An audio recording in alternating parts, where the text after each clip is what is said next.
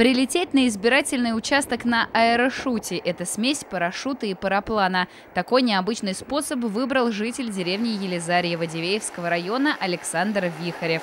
Проголосовал он в Арзамасском районе за 100 километров от места жительства. Приземлившись, он сразу же отправился голосовать. К этому дню он готовился довольно долго. Специально заранее написал заявление с просьбой включить его в список избирателей не по месту официальной регистрации, а там, где он фактически будет будет находиться.